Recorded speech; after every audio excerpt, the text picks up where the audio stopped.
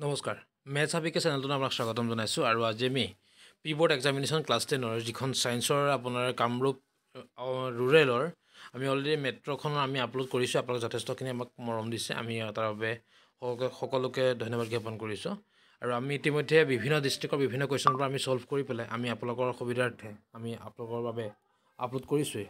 আৰু আপোনালোকে চাবচোন বাৰু কেনেকুৱা পায় আমাক কমেণ্টত কমেণ্ট কৰি জনাব। আৰু আজি আমি এইখন কামৰূপ ৰুৰেলৰ যিখন ছায়েন্সৰ কুৱেশ্যন পৰা আছে তাক আমি ছল্ভ কৰিবলৈ আমি আগবাঢ়িছোঁ। আৰু আমি প্ৰথম কুৱেশ্যনটো হৈছে আপোনাৰ এটা বৈদ্যুতিক হিটাৰ দুই প্ৰান্তৰ বিভৱভেদ ছিক্সটি ভল্ট আৰু ইয়াৰ উৎসৰ পৰা ফ'ৰ এম্পিয়াৰ প্ৰবাহ আহৰণ কৰা হয়।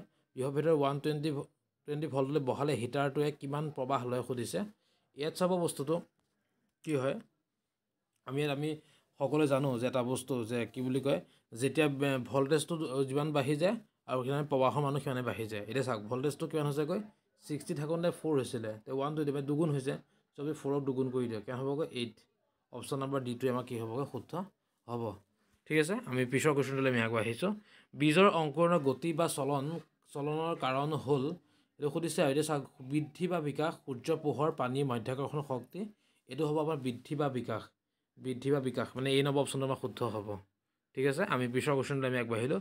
বিদ্যুৎ প্ৰবাহৰ উৎপন্ন কৰা সঁজুলিকে বোলা হয় জেনেৰেটৰ গেলভেনোমিটাৰ এমিটাৰ মটৰ। আৰু এই কুৱেশ্যনটো আমাৰ নগাঁও ডিষ্ট্ৰিক্টতো আহিছিলে। আমি দেখা পাইছিলোঁ নগাঁও ডিষ্ট্ৰিক্টৰ কুৱেশ্যন পৰা আমি ছল্ভ কৰি যেতিয়া অলৰেডি আপলোড কৰিছোঁৱে আপোনালোকে চাব পাৰিব। আৰু বিদ্যুৎ প্ৰবাহৰ উৎপন্ন কৰা সঁজুলি বোলা হৈছিল জেনেৰেটৰ। অপশ্যন নম্বৰ এ জেনেৰেটৰক আমি কোৱা হয়। অ'কে আমি পিছৰ কুৱেশ্যনটোলৈ আমি আগবাঢ়িলোঁ। তলৰ কোনটো ধাতুৱে কপাৰ ছালফেট ডবৰ পৰা কপাৰক অপসাৰিত কৰে সুধিছে। কৰিব পাৰে সুধিছে। এইটো হ'ল আপোনাৰ অপশ্যন নম্বৰ চিটো হ'ব জিংক জিংকে ধাতুৱে কপাৰ ছালফেট ডবৰ পৰা আপোনাৰ কপাৰ অপসাৰিত কৰে কাৰণ ই জিংক ছালফেট ফৰ্ম কৰি দিয়ে ন। আমি বস্তুটো আমি পাইছোঁৱেই কাৰণ কি আছিলে জেড এনৰ লগত যদি আমি C U S O' four যদি আমি যদি হেৰি কৰি দিয়ে কি হ'ব? জিংক ছালফেট হ'ব ন।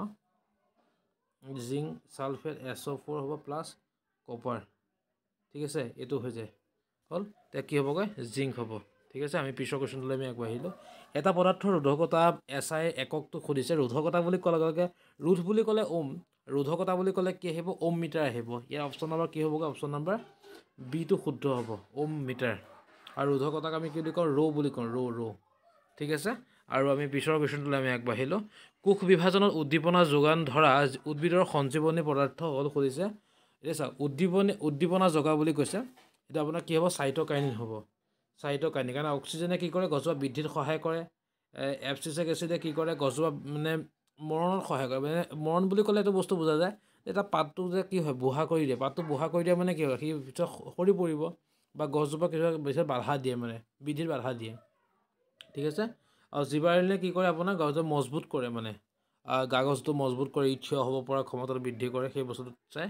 আৰু ছাইডৰ কাৰণে কি কয়? শিপাৰ এইবিলাকৰ যিবিলাক উদ্দীপনা মানে শিপাৰ যি ধৰি লওক কি বস্তু গ্ৰহণ কৰিব কেনেকুৱা ধৰণৰ বস্তু শুহি ল'ব শিপাৰ দিলে কেনেকৈ মজবুতকৈ ধৰি ৰাখিব সেই বস্তু গোটেইটো চাইটৰ কাইনিনে চায় আৰু ইয়াৰ অপশ্যনটো আমাৰ কি হ'বগৈ আপোনাৰ গাইনিন ঠিক আছে আমি পিছৰ কুৱেশ্যনলৈ আমি আগবাঢ়িছোঁ তলৰ কোনটো নৱীকৰণযোগ্য শক্তি উৎস নহয় সুধিছে আৰু এইটো হৈছে আপোনাৰ জীৱাশ্ম ইন্ধন কাৰণ সূৰ্য পোহৰ কেতিয়াও শেষ হৈ নাযায় আৰু আপোনাৰ বায়ু কেতিয়াও শেষ হৈ নাযায় পানীও কেতিয়াও শেষ হৈ নাযায়। জীৱাশ্ম ইন্ধনটো আমাৰ এটা যিটো আমি বস্তু নেচাৰেলি আমি পাওঁ যদিও এইটো কি বহু বছৰ আগতে তাক এটা তাত বহু বছৰ ধৰি পোত খাই আছিল কাৰণে আমি তাৰপৰা ইন্ধনটো পাই আছোঁ। গতিকে সেইটো এটা সময়ত শেষ হৈ যোৱা এটা চান্স আছে। ঠিক আছে সেই নৱীকৰণযোগ্য শক্তি উৎস নহয়। আপোনাৰ কি হ'বগৈ অপশ্যন নম্বৰ বিটো হ'ব। ঠিক আছে আমি পিছৰ কুৱেশ্যনলৈ আমি আগবাঢ়িলোঁ। তলৰ কোনবোৰ আইনীয় যৌগ নহয় বুলি সুধিছে। ইয়াত আপোনাৰ এটা বস্তু চাব সদায় কি হয় যোনে বিদ্যুৎ মানে বিদ্যুৎটো সৰবৰাহ কৰিব নোৱাৰে তাকে আইনযোগ্য নহয় বুলি কোৱা হয়। ইয়াত আপোনাৰ কি হ'বগৈ অপশ্যন নম্বৰ অপশ্যনটো আপোনাৰ টু আৰু থ্ৰীটো মানে আপোনাৰ থ্ৰীটো চিয়'ৰ হৈ আছে টু আৰু থ্ৰীটো হোৱাৰ চান্স আছে। আপোনালোকে এইটো কি হয় আপোনাক কমেণ্টত কমেণ্ট কৰি জনাব। আপোনালোকক জাষ্ট মই আপোনাক কথাটো কৈ দিছোঁ। আপোনালোক একুৰেট আনচাৰটো মই কৈ দিয়া নাই। ইয়াত ইয়াৰ ইয়াৰ মাজত এটা পাজল সোমাই আছে। চ' আপোনালোকে নিজে এইটো কি হ'ব মোক জনাবচোন বাৰু কমেণ্টত কমেণ্ট কৰি পেলাই। ঠিক আছে আমি পিছৰ কুৱেশ্যনটোলৈ আমি আগবাঢ়িলোঁ পিছৰ কুৱেশ্যন কিয় দিছে চাওক টু এইট থ্ৰী ইলেক্ট্ৰনীয় বিন্যাস থকা মৌলটো হ'ল সুধিছে। টু এইট থ্ৰী মানে আপোনাৰ কি হ'ল দুয়ে আঠে দহ দহে তিনিয়ে হ'ল তেৰ। তেৰ নম্বৰত কোন আছে? তেৰ নম্বৰটোত আপোনাৰ কোন আছে আমি জানোৱে সকলো এলুমিনিয়াম। মানে আপোনাৰ নাইন নম্বৰ অপশ্যনত কি হ'বগৈ? বি নম্বৰ অপশ্যনটো শুদ্ধ হ'ব। মানে এলুমিনিয়ামেই হ'ব আমাৰ ইয়াৰ আনচাৰ অ'কে পিছৰ কুৱেশ্যনলৈ চাওক। পানী অণুৰ হাইড্ৰজেনত আৰু অক্সিজেনৰ আয়তনৰ অনুপাতটোৰ কথা সুধিছে। আৰু পানী অণু হাইড্ৰজেন আৰু অক্সিজেনৰ অনুপাতটো কেনেকুৱা? আমি কি জানো? এইচ টু অ' কি হ'ব। দুই আৰু one two is to one মানে অপশ্যন নম্বৰ কি হ'বগৈ আমাৰ? চি নম্বৰ অপশ্যনটো শুদ্ধ হ'ব। টু ইজ টু ওৱান আমি এঘাৰ নম্বৰ কুৱেশ্যনটোত আমি আগবাঢ়ি ধৰা হ'ল তুমি এটা কবিতা লিখিব লৈছা। তোমাৰ মগজুটোৰ কোনটো অংশই ক্ৰিয়াশীলভাৱে কাম কৰিব? এইটো এটা বস্তু চাওক আমাৰ মগজুটোত যেতিয়া এইটো কোন হয় স্মৃতি কাৰণ এতিয়া কবিতা এটা লিখিবলৈ হ'লে আমাৰ শব্দৰ ষ্টক থাকিব লাগিব ৱৰ্ড ষ্টক থাকিব ৱৰ্ড ষ্টক ক'ত থাকিব? যেতিয়া আমাৰ স্মৃতি শক্তি ষ্ট্ৰং হ'ব আৰু স্মৃতি শক্তি ষ্ট্ৰং কৰিবলৈ কোন আছে? মেডুলা আছে। সেইটো কাৰণে আপুনি চাওক ইয়াত পঞ্চ আৰু মেডুলাই হ'ব ইয়াৰ আনচাৰ ঠিক আছে? বুজি পালোঁ কথাটো? আমি তাৰপিছৰ কুৱেশ্যনলৈ আমি আগবাঢ়িলোঁ মানুহৰ মানৱ শৰীৰত মূত্ৰ প্ৰবাহৰ শুদ্ধ পথটি চিনাক্ত কৰিব হৈছে। বৃক্ক মূত্ৰথলী নিষ্কাশন নলী মূত্ৰনলী তেনেকৈ মূত্ৰথলী দিয়া আছে। আৰু এইটো আপোনাৰ দিয়া আছে আপোনাৰ মূত্ৰথলী মূত্ৰনলী মূত্ৰ নিষ্কাশন নলী বৃক্ক আৰু আপোনাৰ এনেকৈ বস্তুটো। এতিয়া আমি এপাৰ যদি এটা চিৰিয়েলি যদি চাবলৈ যাওঁ তেতিয়া আমাৰ অপশ্যন নম্বৰ কিমান হ'ব জানে অপশ্যন নম্বৰ চিটো শুদ্ধ হ'ব।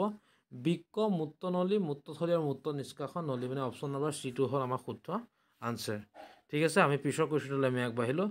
যৌগ C A O' C L tour সাধাৰণ নামটো কি সুধিছে আৰু এইটো আমি ব্লিচিং পাউডাৰ বুলি আমি সকলোৱে জানো। আৰু এইটো আমি প্ৰায় কেইখন ডিষ্ট্ৰিক্টতে আমি এইটো অহা দেখা পাইছোঁ। আৰু এইটো হ'ব ব্লিচিং পাউডাৰ আৰু আমি তল পিছৰ কুৱেশ্যনলৈ আমি আগবাঢ়িছোঁ তলৰ কোনটো কাৰ্বনৰ বহুৰূপতা নহয় বুলি সুধিছে? আমি এটা বস্তু জানো হীৰা বহুৰূপতা হয় গেফাইড হয় ফু ফুলেৰিন মানে হৈছে আপোনাৰ চি ছিক্সটি। চি ছিক্সটি যিটো আছে সেইটো হ'ল ফুলেৰিন বুলি কয়। আৰু ইয়াত অনলি ফ্ল'ৰিন ফ্ল'ৰিনটোৱে হৈছে নহয়।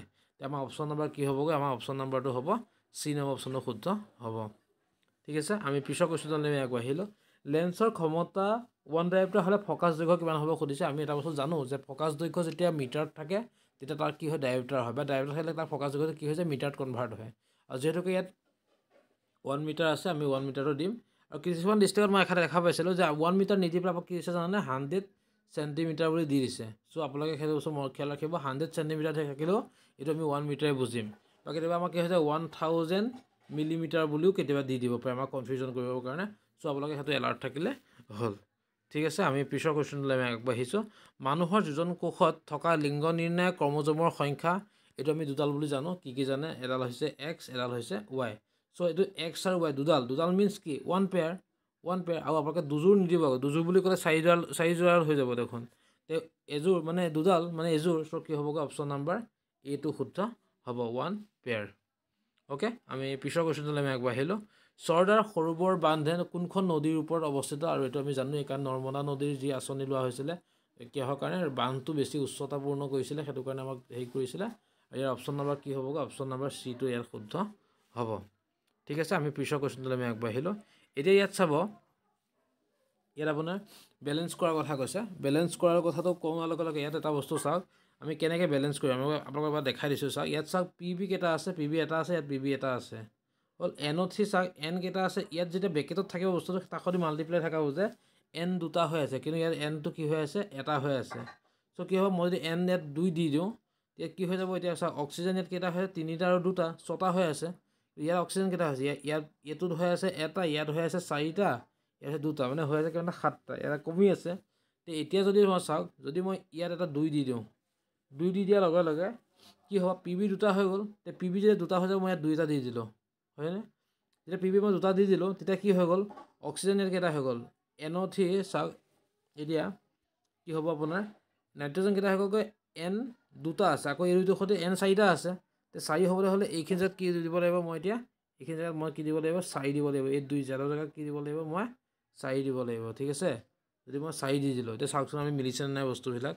যদি মই পি বি দুটা পি বি দুটা হৈ আছে অক্সিজেন নাইট্ৰজেন কেইটা হৈ গ'ল ইয়াত দুটা এফালে দুটা চাৰিটা ইয়াত নাইট্ৰজেন দুটা মিলি আছে। অক্সিজেন চাওকচোন কেইটা আছে তিনিটা এফালে দুটা তিনি দুগুণ ছয় ছয় দুগুণ বাৰটা আছে। ইয়াত চাওক এতিয়া এই বাৰটা থাকিলে এইখিনি জেগাত কি আছে? আপোনাৰ ইয়াত হৈ গ'ল কিমানটা হৈ গ'ল? অক্সিজেন দুটা। ইয়াত ইয়াত হৈ গ'ল অক্সিজেন দুটা ইয়াত হৈ গ'ল দুই চাৰি দুগুণ আঠটা। ইয়াত ইয়াত হৈ গ'ল কিমানটা দুটা। মানে কিমানটা হৈ গ'ল? বাৰটা হৈ গ'ল। মানে আপোনাৰ বেলেঞ্চিংটো আমাৰ হৈ গ'ল। ঠিক আছে? এতিয়া মই আপোনালোকক ভালকৈ লিখি দিছোঁ। ইয়াৰ আনচাৰটো কি জানে? ইয়াত হ'ব দুই ইয়াত হ'ব দুই ইয়াত হ'ব চাৰি।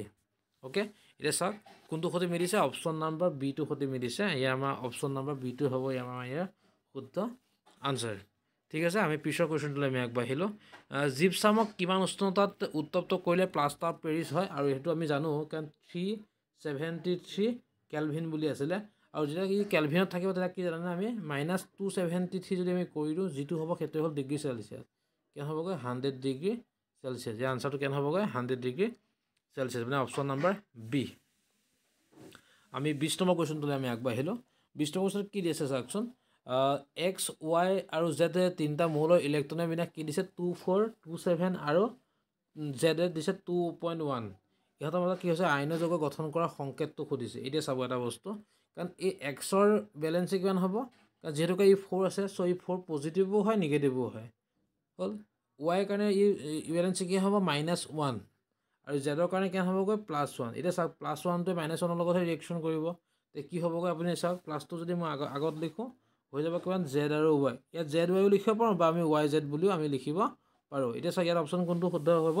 অপশ্যন নাম্বাৰ হ'ব আপোনাৰ আপোনাৰ বি নম্বৰ অপশ্যনটো শুদ্ধ হ'ব ৱাই জেড ঠিক আছে? আমি পিছৰ কুৱেশ্যনটোলৈ আমি আগবাঢ়িলোঁ। তলৰ কোনটা কোনটো বিউটেনৰ গঠন সমযোগী বুলি কৈছে? এতিয়া চাব ইয়াত এটা কথা। বিউটেনৰ সমযোগী মই গোটেইটা ষ্ট্ৰাকচাৰ মই আপোনালোকক দেখাইছোঁ। চাওক বিউটেন বুলি ক'লে গ'লে কি হয়? Myth it pop বিউট pant hex হেপ OK non dead হয়নে? Myth it pop বিউট myth it pop বিউট মানে বিউটেন কথা কেইটা আছে? চাৰিটা। চাওক চাৰিটা কাৰ্বন থকা কোন কোন নাইকিয়া সেইটো প্ৰথমতে চাই লওকচোন।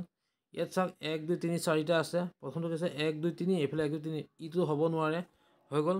থাকিলে কোনকেইটা চাওক? ইয়াত এইটো তিনিটা আছে ই হ'ব নোৱাৰে। ইও হ'ব নোৱাৰে কাৰণ ইয়াত কি হৈছে? শাখা সোমাই আছে আৰু কেইটা আছে? এক দুই তিনি চাৰি চাৰিটা। কিন্তু আকৌ এটা লমি আছেনে নাই? চ' ই নহয় ই নহয় ই নহয়। এই চাওক আকৌ যদি কি হৈছেগৈ? বিটো নহয় তেতিয়া হ'ব কোন? এইটোৱে হ'ব। আৰু এইটো চাওক ই বেকা যেন আছিলে দিছেনে বাৰু বস্তুটো? বেকাহে হৈ যায়। মই চিধাকৈ লিখিবলৈ যাওঁ ইয়াত যদি মই কাৰ্বন এনেকৈ দি দিওঁ ই চিধা হৈ যাব নাযায়? হ'ব তো ই কি হ'বগৈ? Butane. ঠিক আছে আমাৰ অপশ্যন নম্বৰ এইটো শুদ্ধ হ'ব। আমি ইয়াৰ পিছৰ কুৱেশ্যনটোলৈ আমি আগবাঢ়িলোঁ টুৱেণ্টি টু নম্বৰ কুৱেশ্যনটোলৈ।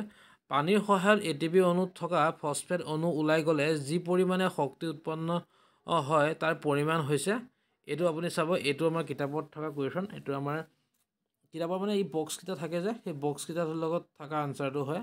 আৰু এইটো খুব মানুহে কমকৈ চকু মাৰে।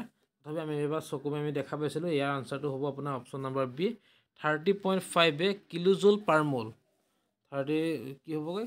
আপোনাৰ কি ক'লোঁ মই? Thirty point five kilojoule per mole মানে আপোনাৰ অপশ্যন নাম্বাৰটো কি হ'বগৈ? অপশ্যন নাম্বাৰ হৈছে বি ঠিক আছে আমি পিছৰ কুৱেশ্যনলৈ আমি আগবাঢ়িছোঁ। ধাতৱ দ্ৰুতি সম্পন্ন অধাতুবিধ হ'ল খুলিছে এইটো আমাৰ নগাঁও ডিষ্ট্ৰিক্টত আমি দেখা পাইছিলোঁ। ইয়াতো আনচাৰটো হ'ব আপোনাৰ কোনটো জানেনে? ইয়াৰ আনচাৰটো হ'ব iodine. Option number D okay আমি পিছৰ কুৱেশ্যনলৈ আহিলোঁ। আমলিক অক্সাইডবিধ হৈছে সুধিছে কাৰণ ছ'ডিয়াম অক্সাইড কেতিয়াও আমলিক নহয় কাৰ্বন মনক্সাইড নহয় কাৰ্বন ডাই অক্সাইডো নহয়। একমাত্ৰ কি হ'বগৈ? এলুমিনিয়াম অক্সাইডটোৱে হৈছে আমলিক অক্সাইড। অ'কে আমি পিছৰ কুৱেশ্যনলৈ আগবাঢ়িলোঁ। এতিয়া চাওক এই বস্তুখিনি কেনেকুৱা হয়? ইয়াত যদি আপুনি চাব তেতিয়া ইয়াত চাওকচোন আপুনি চব বস্তু যদি নাজানে কিন্তু এটাও চাওক এই এক নম্বৰটো মানে ক'ত? এক নম্বৰটো ইয়াত আছে হয়নে? ই কি হয়? চাইনেপছ হয়। ইয়াত চাওকচোন এক নম্বৰটো চাইনেপছ ক'ত আছে? এই নম্বৰটো আছে আৰু আপোনাৰ ক'ত আছে? আৰু নাই। চ' কি হ'ব আপুনি বাকীখিনি চাব যদি আপুনি নাজানেও তেনেহ'লে আপুনি এক নম্বৰ এইটো আপুনি শুদ্ধ চিন দি দিয়কচোন তেতিয়া আপুনি গোটেই বস্তুখিনি গম পাই যাব। ঠিক আছে? আৰু আমি যিবিলাক জানোতো বাৰু জানোৱেই সেই নাজানে এটা আইডিয়াত যেতিয়া আমি কৰিব লগা হয় তেতিয়া আমি সেই বস্তুটো চিলেক্ট কৰি পেলাই আমি বাকীখিনি চাই দিলে আমাৰ আনচাৰটো আমি গম পাই যাম। ঠিক আছে আমি পিছৰ কুৱেশ্যনলৈ আমি আগবাঢ়িছোঁ। ইয়াত কি দি আছে চাব? পপেন অণু এটাত কেইটা সমযোগী থাকে হৈছে। এতিয়া পপেন বুলি ক'লে কি হয় চাওক? মিথ ইথ পপ বিউট মানে মিথ ইথ পপ তিনিটা। যে তিনিটা যদি কাৰ্বন এনেকৈ হৈ থাকিব আৰু পপেন কৈছে এন এলকেন এলকেন বুলি ক'লে একবন্ধনী একবন্ধনী হয়নে? আমি একবন্ধনী এনেকৈ দিলোঁ ঠিক আছে? এতিয়া চাব এয়া চব এইচ লগাব লাগে। মই এইবিলাক লগাই দিছোঁ বাৰু আপোনালোকৰ আগত। এইচটো এইচটো লগাই লগাই দিলোঁ। হ'ল এতিয়া কি হৈছে আমাক? কেইটা সহযোগী বান্ধনী বুলি কৈছে। এতিয়া সহযোগী বান্ধনী কেইটা চাওকচোন। এটা দুটা তিনিটা চাৰিটা পাঁচটা ছটা সাতটা আঠটা নটা দহটা। দহটা। মানে আমাৰ অপশ্যন নাম্বাৰ কি হ'বগৈ? অপশ্যন নাম্বাৰ এইটো শুদ্ধ হ'ব। টুৱেণ্টি ছিক্সৰ কি হ'বগৈ? অপশ্যন নাম্বাৰ এইটো শুদ্ধ।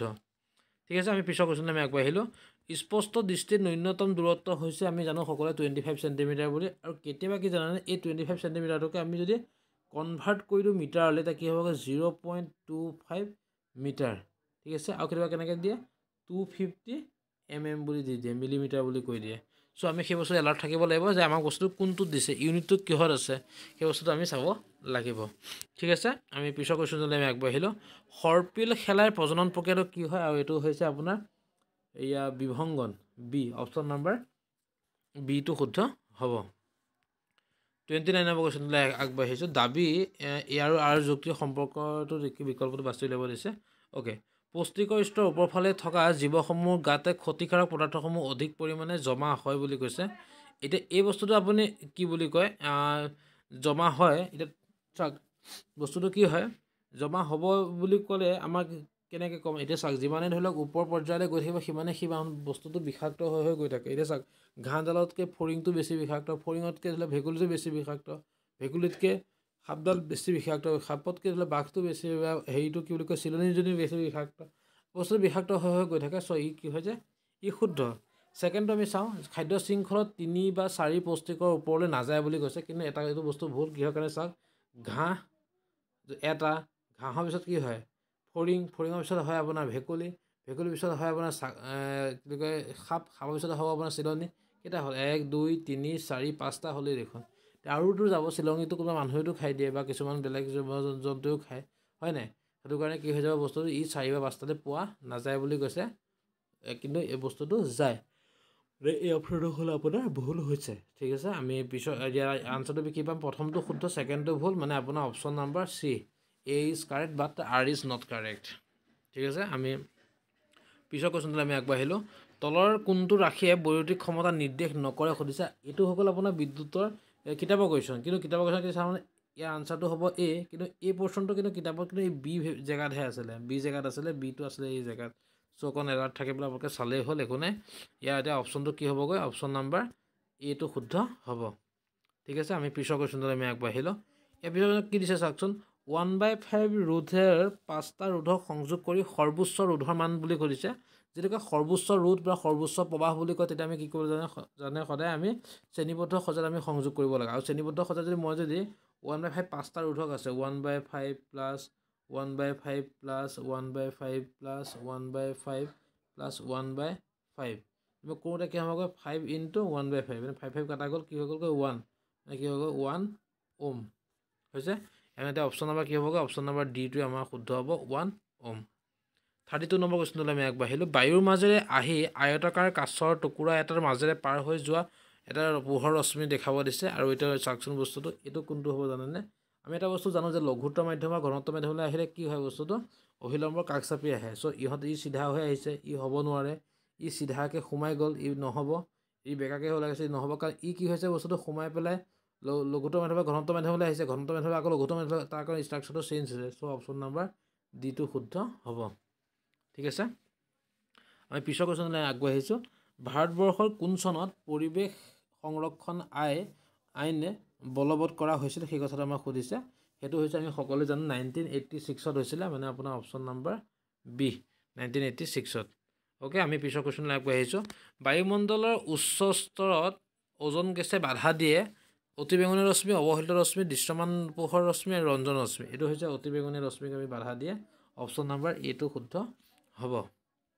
ঠিক আছে? সৌৰকোষ প্ৰস্তুত কৰাৰ বাবে ব্যৱহাৰ কৰা ধাতুবিধ হৈছে এইটো আমি জানো সকলোৱে চিলিকন চিলিকন হ'ব আমাৰ ইয়াৰ আনচাৰ ঠিক আছে? মেণ্ডেলবৰ দ্বিসংকৰণৰ অনু অনুপাতটো কি বুলি কৈছে? এইটো হৈছে আপোনাৰ nine is to one is nine is to three is to three is to one মানে অপশ্যন নাম্বাৰ ডিটো শুদ্ধ হ'ব। Nine is to three is to three is to one okay পিছৰ কুৱেশ্যনটো হৈছে বিবৰ্ধনৰ মানৰ আগতে ঋণাত্মক চিন চিহ্নই প্ৰতিবিম্বটো বুজাই সুধিছে। আৰু এইটো আমি জানো যে থাৰ্টি ছেভেন নম্বৰটো আমি কি জানো যে আমাৰ কি হয় যেতিয়া নিগেটিভ চিনটোৱে বুজাই যে সেইটো কি হয় তেতিয়া আপোনাৰ সৎ প্ৰতিবিম্ব আৰু ওলোটা প্ৰতিবিম্ব হয়। আৰু ই সদায় কি হয় যে অৱতল লাভনত হয় কথাটো। সেইটো কাৰণে কি হৈ যায় বস্তুটো অপশ্যন নাম্বাৰ এ হ'ব। ঠিক আছে আমি পিছৰ কুৱেশ্যনটোলৈ আমি আগবাঢ়িলোঁ। চকুৰ কোনবিধ অংশৰ ক্ৰিয়াৰ বাবে চকুৰ লেন্সৰ ফকাছ পৰিৱৰ্তন হয়। এইটো হৈ গ'ল আপোনাৰ চিলিয়াৰী পেশী এইটো কিতাপৰ কুৱেশ্যন নহয় চিলিয়াৰী পেশীৰ কাৰণে হয়। আমি পিছৰ কুৱেশ্যনলৈ আহি তলৰ কোনটো বৃহৎ নদীবান্ধ সমস্যা নহয় বুলি কৈছে? সামাজিক সমস্যা হয় অৰ্থনৈতিক সমস্যা হয় পৰিৱেশ সমস্যা হয় ধৰ্মীয় সমস্যা। এইটোৱে নহ'ব ধৰ্মীয় সমস্যা কেতিয়াও নহয় নদীবান্ধৰ কাৰণে। হৈ গ'ল। আমি পিছৰ কুৱেশ্যনটোলৈ আহিলোঁ মানৱ ভ্ৰূণটোৱে মাতৃদেহৰ পৰা পুষ্টি লাভে কিহৰ যোগেদি লয়? এইটো হৈছে এইটো আপোনাৰ ফৰ্টি নম্বৰটো প্লেচেণ্টা বুলি কয় প্লেচেণ্টাৰ যোগেদি আপোনাৰ বক্ষৰ যি হেৰি থাকে আপোনাৰ তাত প্লেচেণ্টা থাকে প্লেচেণ্টাৰ যোগেদি তেওঁ কি হৈ যায় দুগ্ধ বা পুষ্টিখিনি তেওঁ তোমাৰ লোৱা দেখা যায়। ঠিক আছে আমি পিছৰ কুৱেশ্যনটোলৈ আমি আগবাঢ়িলোঁ। এবিধ যৌন ৰোগৰ এছ টি ডি হৈছে এইটো হৈছে গনৰিয়া বুলি কয়। আপোনাৰ ফৰ্টি ওৱান নম্বৰটো আপোনাৰ কি হ'বগৈ? অপশ্যন নম্বৰ বি গনৰিয়া বুলি কয়। ঠিক আছে? প্ৰাকৃতিক নিৰ্বাচনৰ সূত্ৰ কোনে আগবঢ়াইছিল সুধিছে এইটো হৈছে আপোনাৰ ডাৰউইনে ডাৰউইনে কৰিছিলে কাৰণ প্ৰাকৃতিক নিৰ্বাচনৰ সূত্ৰটো মানে পৰিৱেশৰ লগত নিজকে ধৰি লওক খাপ খুৱাই পেলাই আগবঢ়াই যোৱাটো কথা ডাৰউইনে কৈছিল। শুদ্ধটো বাছি উলিয়াব দিছে ইয়াত চাওক আমাৰ চুম্বকৰ বলৰেখাৰ দৃশ্য দিছে আমি কি জানো যে সদায় চুম্বক ক্ষেত্ৰত কি হয় নৰ্থৰ পৰা চাউথলৈ যায় আৰু ভিতৰত কি হয় চাউথৰ পৰা নৰ্থলৈ আহে। ইয়াত চাওক নৰ্থৰ পৰা চাউথলৈ গ'ল ঠিক আছে বাট চাউথৰ পৰা নৰ্থলৈ নাহি নৰ্থৰ পৰাহে চাউথলৈ গ'ল চ' এইটো নহয়। ইয়াত আছে চাউথৰ পৰা নৰ্থলৈ আহিছে এইটো নহয়। আৰু ছেকেণ্ড থাৰ্ড ডি নম্বৰটো কি দিছে চাওক ডি নম্বৰটো দিছে কি যে চাউথৰ পৰা নৰ্থলৈ আহিছে নৰ্থৰ পৰা চাউথলৈ এইটো নহয়। বাট অনলি ওৱান দিছ এই নম্বৰটো শুদ্ধ হ'ব নৰ্থৰ পৰা চাউথলৈ গৈছে আৰু চাউথৰ পৰা নৰ্থলৈ আহিছে। ঠিক আছে আমি পিছৰ কুৱেশ্যনলৈ আমি আগবাঢ়িছোঁ। মানুহৰ অক্ষিগোলকৰ ব্যাস পায় চাওক আমি এটা বস্তু জানো টুৱেণ্টি কি হয় আপোনাৰ আমাক কি হ'বগৈ বস্তুটো? টু পইণ্ট থ্ৰী চেণ্টিমিটাৰ হয় টু পইণ্ট থ্ৰী চেণ্টিমিটাৰ চাওক অকণ অকণ মই কৈছিলোঁ আপোনালোকক টু পইণ্ট থ্ৰী চেণ্টিমিটাৰ হয়। বা ইয়াত কি আছে টু পইণ্ট থ্ৰী চেণ্টিমিটাৰ নাই। এতিয়া কি চাওক টুৱেণ্টি থ্ৰী কিন্তু মিলিমিটাৰ আছে। কথাটো গম পালেনে বাৰু? টুৱেণ্টি থ্ৰী মিলিমিটাৰ আছে। বা কেতিয়াবা এনেকৈ দি দিব? Zero' point zero' zero' zero' point zero' two three metre বুলি কৈ দিব পাৰে কেতিয়াবা। এনেকৈ কনভাৰ্ট কৰি দিব পাৰে মানে। চ' আমি চাই ল'লে বস্তুটো ইজি হ'ব। মানে এতিয়া ইয়াৰ অপশ্যন নম্বৰ কি হ'বগৈ টুৱেণ্টি থ্ৰী মিলিমিটাৰ হ'ল। ঠিক আছে আমি পিছৰ কুৱেশ্যনলৈ আগবাঢ়িলোঁ। চক্ৰীয় যৌগটো কোনটো সুধিছে? আৰু চক্ৰীয় যৌগত যদি চাবলৈ যাওঁ আমাৰ কি হৈছে সদায় চক্ৰীয় যৌগত কি হয় দুগুণ থাকে নাম্বাৰ থকা দেখা পাওঁ আমি। তথাপি আমি চাওক কাৰ্বন যেতিয়া আঠটা থাকিব হাইড্ৰজেন বাৰটা থাকিব কোনো থাকিব নোৱাৰে। কাৰ্বন চাৰিটা থাকিলে ই হ'ব নোৱাৰে। কাৰ্বন ই চি কাৰ্বন দুটা থাকিলে এইচ কেতিয়াও তিনিটা হ'ব নোৱাৰে। চ' কি হ'ব চি নম্বৰ অপশ্যনটো হোৱাৰ চান্স আছে। তথাপি আমি এবাৰ লিখি দিছোঁ চাইক্ল' বুলি ক'লে C C C C C C C. এক দুই তিনি চাৰি পাঁচ ছয় সাত আঠ ন দহ এঘাৰ বাৰ। বাৰ। এতিয়া এইটো হৈছে আপোনাৰ চাইক্ল' হেক্সেন বুলি কয় যিটো আপোনাৰ অপশ্যন নম্বৰ চি ইতিমধ্যে আমি ফৰ্টি ফাইভটা এতিয়া কুৱেশ্যনৰ আমি যিবিলাক এম চি কিউ আছিলে আমি দেখাই ছল্ভ কৰিবলৈ আমি চেষ্টা কৰিলোঁ আৰু আপোনালোকৰ আগত সুবিধাৰ্থে আমি কৈ দিলোঁ। বাকীখিনি কুৱেশ্যন আমি এবাৰ চাই দিব বিচাৰিছোঁ। তলৰ ৰাসায়নিক দিয়া ৰাসায়নিক বিক্ৰিয়া সন্তুলন কৰিব দিছে। ইয়াত চাওক সন্তুলন কৰাটো একদম ইজি হৈ আছে। বি আৰ দুটা আছে চ' দুই এটা আগত দি দিয়ক। এ জি দুটা হৈ গ'ল চ' ইয়াত এটা দুই দি দিয়ক ইয়াত আনচাৰটো হৈ গ'ল। তেনেকৈ আপোনাৰ আইৰণৰ এফ ই ইয়াত কেইটা আছে এটা আছে ইয়াত আইৰণটো কিমান আছে তিনিটা আছে। চ' আপুনি কি কৰিব ইয়াত আপুনি তিনি দি দিয়ক। হ'ল? হাইড্ৰজেন দুটা আছে হাইড্ৰজেন দুটা আছে। এতিয়া অক্সিজেন ইয়াত কেইটা আছে চাৰিটা আছে বা ইয়াত কেইটা আছে আপোনাৰ দুটাহে আছে। চ' আগত চাৰিটা দি দিয়কচোন অক্সিজেন চাৰিটা হৈ গ'ল হাইড্ৰজেন কেইটা আঠটা হৈ গ'ল। চ' হাইড্ৰজেন ইয়াৰ আগত আকৌ এটা চাৰি দি দিয়ক এইটো বেলেঞ্চিং হৈ গ'ল। ঠিক আছে? তাপবৰ্জী বিক্ৰিয়া তাপগ্ৰাহী বিক্ৰিয়া কাক বোলে উদাহৰণ দিব দিছে? তাপবৰ্জী বিক্ৰিয়াটো কি হয়? আৰু তাপগ্ৰাহী বিক্ৰিয়াটো আমি সকলোৱে জানো তাপ উদ্ভৱ হোৱা এটা আৰু তাপ শোষণ কৰা এটা। তাৰপৰা আমি উদাহৰণ বনস্পতিৰ হেৰি হয় কিবা বস্তু আপোনাৰ খালু সংশ্লেষণ প্ৰক্ৰিয়াটোৰ কথা ক'ব পাৰোঁ শ্বসনৰ কথা ক'ব পাৰোঁ আমি সেনেকৈ আমি লিখিব পাৰোঁ। অ'কে প্ৰশমন বিক্ৰিয়া কি? তাৰ উদাহৰণ দিব দিছে। আৰু এচিডৰ এটা জলীয় দ্ৰৱৰ দ্ৰৱ বিদ্যুৎ পৰিবহণ নপৰে ব্যাখ্যা কৰিব দিছে। কাৰণ ই কি হৈছে পজিটিভ নিগেটিভ আয়ন হেৰি কৰে। সেইটো কাৰণে তলত যৌগসমূহৰ নাম লিখিব দিছে। ইয়াত চাওক এটা বস্তু। কাৰ্বন কেইটা আছে? এক দু এক দুই তিনি চাৰিটা আছে। চাৰিটা আছে বুলি কয় মিথ ইথ পপ বিউথ। বিউথ। বিউথটো আমি গম পাই গ'লোঁ হয়নে? লিখাটো হেৰি হৈ গৈছে। But B U T but T বন্ধনী বিউটাইন। এতিয়া এইটো হ'ব কিমান? বিউটাইন হ'ব। ছেকেণ্ডটো চাওক এক দুই আছে কিন্তু ইয়াত ডবল বণ্ডিং অ' আছে। তেতিয়া কি হয় জানানে? এইটো ডবল বণ্ডিং অ'টো অ' এইচটো কাৰ হয়? এইটো এল ডি হাইডৰ হয়। এতিয়া কি হ'বগৈ মিথ ইথ এইটো হ'ল ইথা নেল হ'ব। এইটো আপোনাৰ কি হ'বগৈ ইথা নেল হ'ব। কাৰণ কাৰ্বক্সিলিক এচিডটো কি আছেগৈ ডবল বণ্ডিং এইচ আছে এইটো হ'ল এল ডি হাইডৰ ঠিক আছে? আমি পিছৰ কুৱেশ্যনলৈ আমি আগবাঢ়িছোঁ মেণ্ডেলিভৰ শ্ৰেণীবিভাজনৰ সীমাবদ্ধতাসমূহ লিখিব দিছে। আমাৰ দেশত থকা শ্বাসবিধৰ কণাৰ লিখিছে কাৰ্য কি হৈছে স্নায়ুতন্ত্ৰত থকা আমাৰ শৰীৰৰ স্নায়ুবৰ্তাৰ উদ্দীপনৰ কথা হৈছে কোন জীৱৰ বাবে ৰেণুৰ দ্বাৰা বংশ বিস্তাৰ কৰাটো কেনেদৰে লাভদায়ক? আৰ্জিত আৰু বংশানুগত বুলি আৰ্জিত মানে আমি কিবা বস্তু কালেক্ট কৰিছোঁ শিকিছোঁ। এতিয়া আমি সাঁতুৰিবলৈ সেয়া আমি আৰ্জিত আৰ্জিত কৰিছোঁ বা আমি কিবা পঢ়িবলৈ আমি আৰ্জিত কৰিছোঁ। বংশানুক্ৰমিক চৰিত্ৰ কেনেকুৱা হ'ল যে ধৰি লওক মোৰ দেউতাৰ মাইণ্ড ধৰি লওক অলপ হেৰি আছিলে অলপ ধৰি লওক ভাল প্ৰকৃতি নাছিল তেতিয়া মোৰ কেনেকুৱা ভাল প্ৰকৃতি নহ'ল। সেইটো হ'ল বংশানুক্ৰমিক বুলি কোৱা যাব। বা মোৰ বংশত ধৰি লওক কাৰোবাৰ ধৰি লওক হাতখন অকণ বেকা আছে মোৰো অকণ হাতখন বেকা সেইটো হ'ল বংশানুক্ৰমিক চৰিত্ৰ বুলি কোৱা যাব। কিন্তু আৰ্জিত বুলি কোৱাৰ লগে লগে কি হ'ব বস্তুটো আমি কালেক্ট কৰিছোঁ যিটো তেতিয়া মই দেউতাই সাঁতুৰিব নাজানে বাট মই সাঁতুৰিব জানো। তো এইটো হ'ল মোৰ আৰ্জিত চৰিত্ৰ মই শিকিছোঁ কথাটো। ঠিক আছে?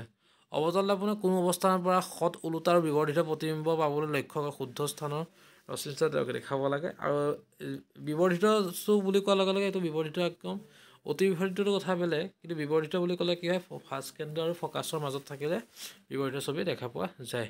নিগত দৃষ্টিকোষ কি? ইয়াৰ দুটা কাৰণ লিখিব দিছে। নিগত দৃষ্টিকোষ মানে কেনেকুৱা আছিলে? বস্তু যোনটো বস্তু মানুহবিলাকে আঁতৰটো দেখা নাপায় ওচৰতো যদি ভালকৈ দেখা পায় তেওঁলোকে নিগত দৃষ্টি বুলি কয় ইয়াক মায়াবীয় বুলি কয়। ইয়াৰ কাৰণে আমি কি হয় অৱতল লেন্স ইউজ কৰা হয়। ঠিক আছে? আমি পিছৰ কুৱেশ্যনলৈ আমি আগবাঢ়িছোঁ। টুৱেণ্টি ভল বিহভেদ দুটাৰ মানে মাজেৰে টেন কুলম আধান চালিত কৰোঁতে কিমান কাৰ্য সম্পন্ন হ'ব সুধিছে আমি কি জানো যে ভি ইকুৱেলটো কি হয়? ডব্লিউ বাই কিউ তে ডব্লিউ ইকুৱেলটো কি হ'বগৈ? ভি কিউ হ'ব। ভি কিমান? টুৱেণ্টি তে কিউ কিমান? টেন মানে কিমান হ'বগৈ? টু হাণ্ড্ৰেড আপোনাৰ জুল জুল কাৰণ কাৰ্যৰ একক কি হয়? জুল তে টু হাণ্ড্ৰেড জুল হ'ব। আমি অমৰ সূত্ৰ লিখিব দিছে গাণিতিক ৰূপ লিখিব দিছে অমৰ সূত্ৰত আমি জানো যে স্থিৰ উষ্ণতাত কি হয়? পৰিৱেশে মাজেৰে যোৱা বিভৱভেদটো ইয়াৰ প্ৰবাহৰ সমানুপাতিক। চলেনত কি চলেনত কি হয় এটা আপোনাৰ তাৰ কুণ্ডলী আমি যদি বহুতবাৰ পাৰ্ক কৰি তাৰ মানে যদি হেৰি কৰি কি কয় কাৰেণ্ট পাছ কৰিলোঁ সি কি হয় প্ৰকৃতিটো এটা সুষম হয়। হয় নাই? বৃত্তাকাৰ কুণ্ডলী হেৰি হৈ যায়। এই বস্তু কথা লিখিব পৰা যায়। আদৰ্শ জালনীৰ দুটা বৈশিষ্ট্য হৈছে পৰিস্থিতিতন্ত্ৰ বিয়োজকৰ ভূমিকা কি? বিয়োজকবিলাক যদি পচি কৰি গেলি কৰি নাযায় তেতিয়াহ'লে আমাৰ কি হ'ব? গোটেই দুৰ্গন্ধ বিয়পি পৰিব ন? সেই কথাটো আমি ক'ব বিচাৰিছে। বনাঞ্চল আৰু বন্যপ্ৰাণী যিকোনো দুটা অংশীদাৰৰ কথা কৈছে সেইটো আমি জানোৱে উভয়ধৰ্মী অক্সাইড কি? উদাহৰণ দিয়া।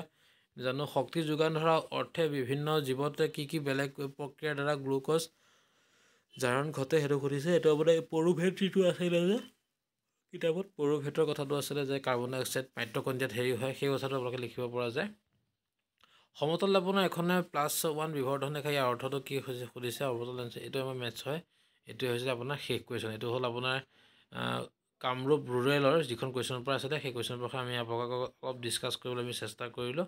আপোনালোকে কেনেকুৱা পায় আমাৰ কমেণ্টত কমেণ্ট কৰি জনাব। আৰু আমাৰ চেনেলটো যদি ছাবস্ক্ৰাইব কৰা নাই আপোনালোকে ছাবস্ক্ৰাইব কৰি থ'ব।